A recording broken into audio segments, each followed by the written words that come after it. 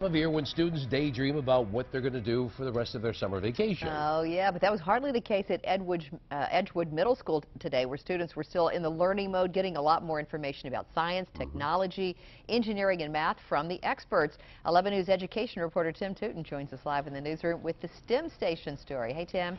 Well, Donna, for some time, Maryland business leaders have been looking for ways to connect more professionals with students. In this case, students who were able to use their classroom time to focus on their futures.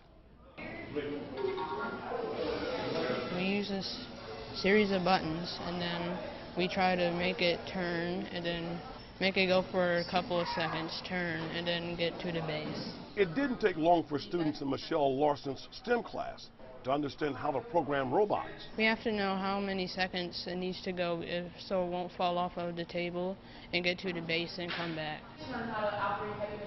STEM specialists from the real world, with permission from the Maryland Business Roundtable for Education, spent the morning helping students understand how robots are designed and how they operate.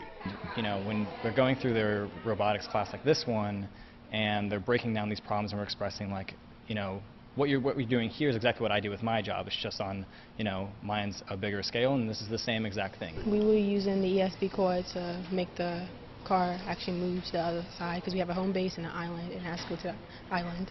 Do you see yourself in these middle school students? I do.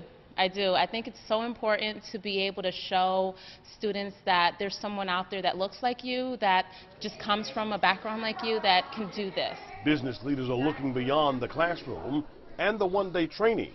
And it's a great opportunity for them to be able to pipeline um, their future workforce and to plant that seed early for these students so that that light bulb can come on. They can, you know, see working at an organization like Booz Allen Hamilton or Johns Hopkins or wherever it might be. What, what was the experience like for you? It was actually pretty fun. I had a good time with my friends and actually learned something. Something from the experience educators hope students will use outside of the classroom.